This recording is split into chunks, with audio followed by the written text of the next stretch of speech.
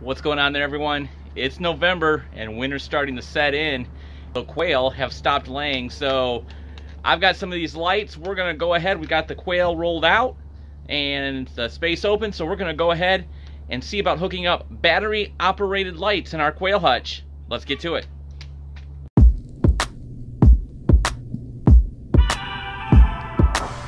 I'm Bill, and I raise rabbits and quail in my very small backyard.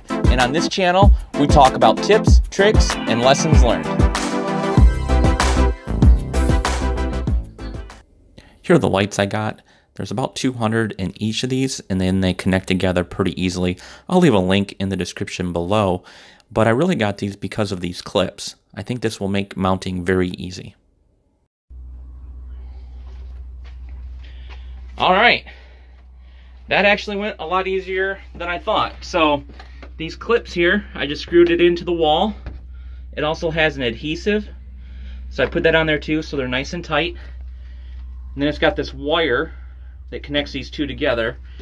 And then on this end, I just uh, connected, they had this cable included, and I just put a couple butt connectors there to connect them together. And I have this running down right now so yes, that's a very, very big battery. You don't need a battery that big. You could get away with almost anything.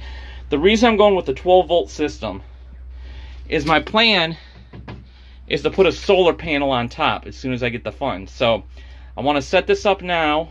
My calculations, this this huge battery should probably run these lights for about two weeks. So because these are LED lights, they don't take. I think they're like six watts, so it's not going to be too much of a draw on this battery for sure. But this is not the final setup because we have a timer, a DC timer, which I'm going to hook up right now. But I just want to make sure the lights worked. Make sure I'm going to be happy with it. A switch on each of them. Probably should turn that around so they're both on the same side. I do believe that should work. So let's get the timer set up, get the timer hooked up, get everything back in, and we'll take a look. All right, ladies. There it is. I do believe that should work. Should be plenty of light. What do you guys think? It's an overkill. And then, uh, still got to clean up some of the wires a little bit here, but just mounted the timer switch there. That way I can kind of manually turn it on and off and get to the program if I want to. The lights do have a switch on it as well. Not sure if that's going to stay there or not. I did want to put some shelves in here, so I can probably get this off the cage. That's probably not great for it. There is room on the floor as well, but hopefully we'll be doing a solar charger and a solar panel up here soon. I know it's going to be overkill, but that's the way I like to do it. So, we'll come back and take a quick peek at night.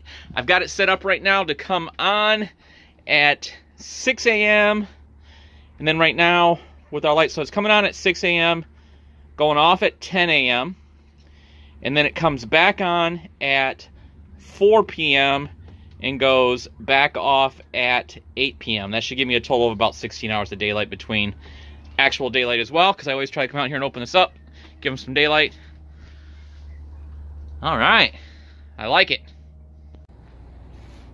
All right, it's not completely dark yet, but I still wanted you to be able to see, so let's go take a look. Oh yeah, baby. Oh yeah. I think that's gonna work just fine. Look at those things in there. they are happy. They like the light. That should work. See ya.